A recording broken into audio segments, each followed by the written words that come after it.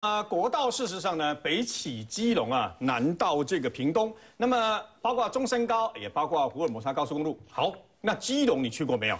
基隆如果你去过的话，那么那个隧道口有一个就管就管连接的白色的巨塔，它到底是什么东西呢？就有民意代表说，那听说啊，那个中山高速公路对不对哈？整个高速公路呢，那么基隆是高速公路的头嘛，就好像一条龙一样。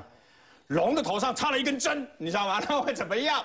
这个地方确实啊，在刚好在这个附近呢，因为它旁边就有一个大道之行啊，大道之行啊。然后呢，这个地方其实因为设计的关系，附近包括高架桥等等啊，在基隆这端发常常发生车祸哦，因为货柜车很多嘛。那可是为什么要插这根呢？有人说看起来不像针啊，比较像是一把宝剑。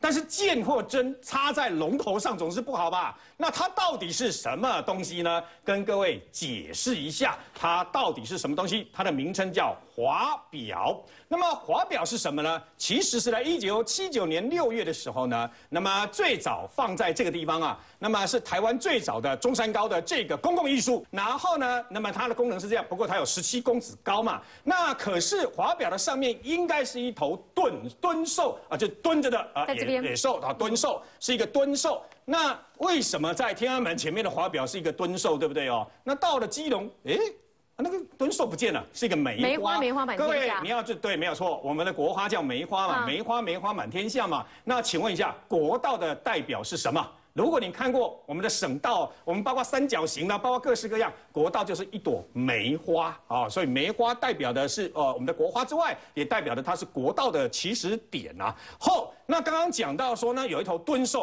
那蹲兽是什么意思？那么这个蹲兽事实上呢，它的名字叫做望天吼跟朝天吼，下面一数？它要朝这只这个名字叫做吼的这个蹲兽呢，它要朝天上叫。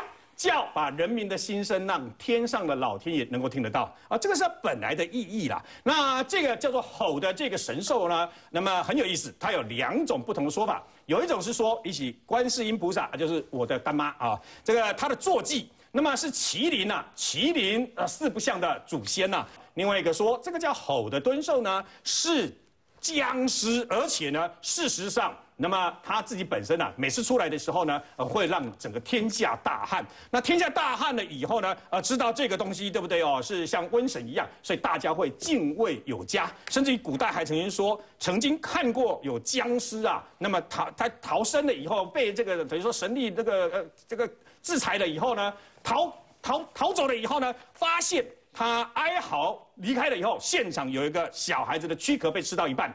身上的血全部被吸干了，说他怀疑是吸血鬼的僵尸。